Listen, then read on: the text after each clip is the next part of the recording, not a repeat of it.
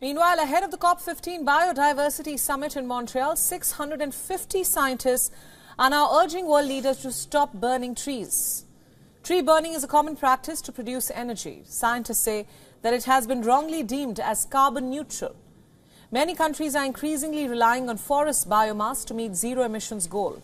But many have overlooked that burning trees destroys valuable habitats for wildlife. Scientists are now saying that countries should stop using forest bioenergy and instead switch to renewable sources. Researchers are urging global leaders to commit to ending reliance on biomass energy by 2030 at the COP15 summit.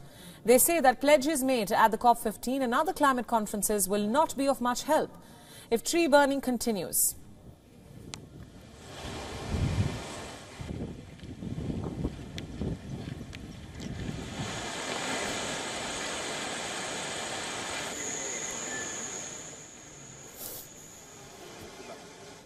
Ensuring energy security is a major societal challenge, but burning forests is not the answer.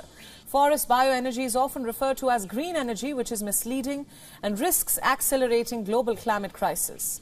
Chopping trees for bioenergy releases carbon locked in forests, which in turn increases emissions and creates carbon debt, which is only paid off decades, which is only paid off across decades or centuries later when trees are regrown.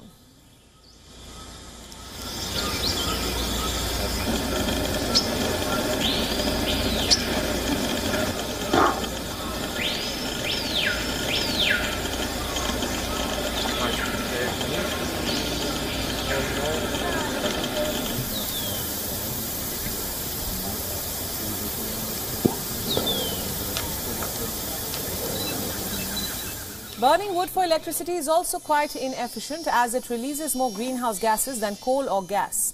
Additional energy is used to harvest and transport the wood, but it is an important part of the UK's net zero strategy. It is the biggest importer of wood pellets for energy generation. In 2019, the country bought more than 5 million metric tons of wood from the US, which is the largest provider of wood along with Canada and Estonia. Experts have been warning about the climate impact of bioenergy for years now, but now they have found that it has dire risks for nature. Cases of protected forests being affected have emerged. Forests are the most biodiverse places on the planet. They provide a habitat for countless species. Forest covers also absorb nearly 30% of all global emissions from burning fossil fuels.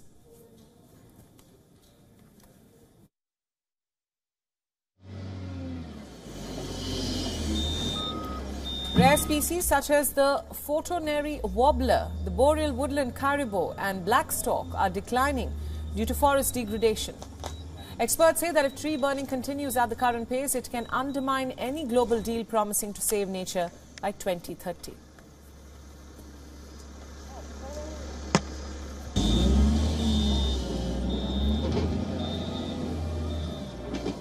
WION World is One is now available in your country. Download the app now and get all the news updates on the move.